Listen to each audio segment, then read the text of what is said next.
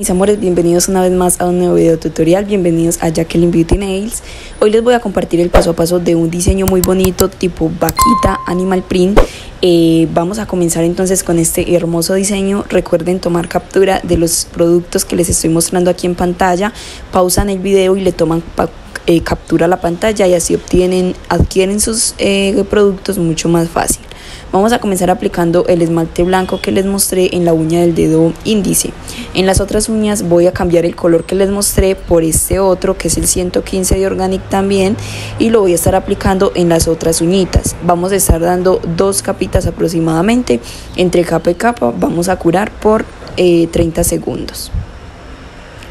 Eso también va a depender mucho como de la potencia que, se, que, que sea la lámpara de ustedes. Eh, vamos entonces a dar otra capita más rápidamente. Este es un diseño súper fácil y súper bonito. En estas uñas corticas se ve divino y en las uñas largas ni que hablar. Entonces listo, una vez que ya demos la segunda capa, curamos en lámpara por ahí por 60 segundos más o menos y tomamos el esmalte blanco y un pincel liner con el cual vamos a estar haciendo esa línea gruesa semicurva, la cual vamos a rellenar por un lateral. Entonces se puede decir que va a quedar una división en color blanco en esta uña.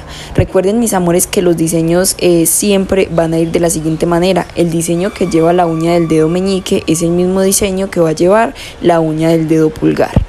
Entonces aquí rellenamos súper bien y vamos a hacer exactamente lo mismo en esta otra uñita, en la del dedito meñique, en lo que indicaría que eh, este mismo diseño iría en la uña del dedo pulgar.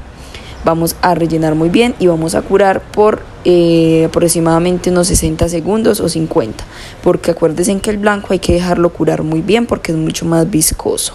Luego ya de que esté curado en lámpara vamos a tomar el esmalte perdón el painting gel negro y una, un pincel un poquito más grueso que sea como para relleno y con este voy a estar haciendo las manchitas de esta manera. Deben de quedar así como temblorositas no pueden quedar círculos perfectos porque entonces no van a aparecer manchitas de vaquita.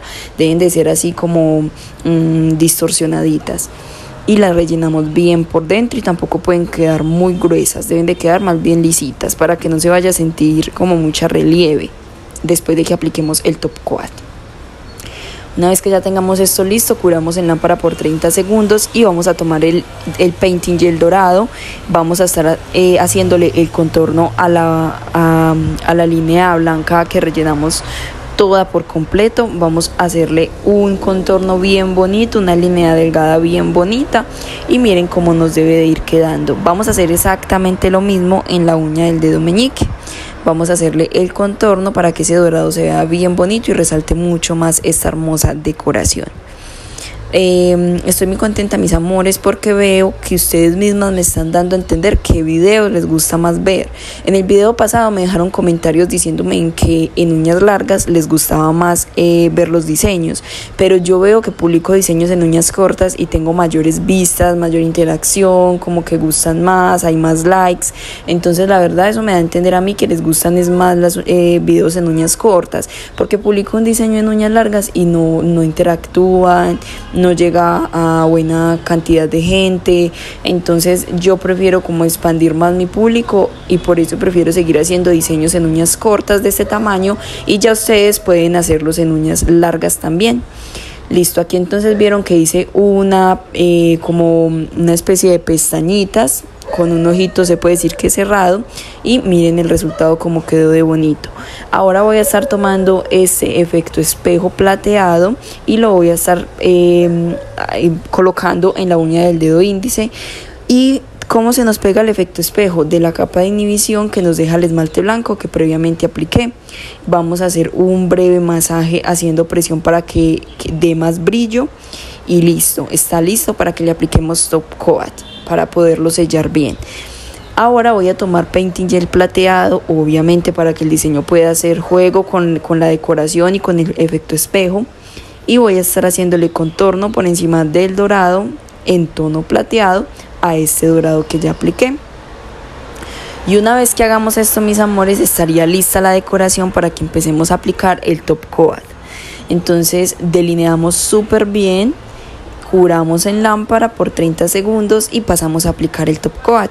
Cada cosita que yo voy haciendo yo la voy curando. Ustedes no ven aquí el paso a paso de cuando yo eh, ingreso la mano a la lámpara porque pues a mí me toca quitar la mano de, de mm, del trípode donde yo la, la sostengo para poderla meter a la lámpara. Aquí agregué un poquito de gel de construcción y lo que estoy haciendo es colocando estos, estas piedritas decorativas y miren qué bonito resultado da. Ya tienen top coat, ya están totalmente curaditas estas uñitas y miren qué bonitas y qué brillosas quedaron. Espero que les haya gustado muchísimo. Recuerden suscribirse a este canal y activar la campanita de notificaciones para que no te pierdas ninguno de mis videos. Un besito y nos vemos en un próximo video tutorial. Bye.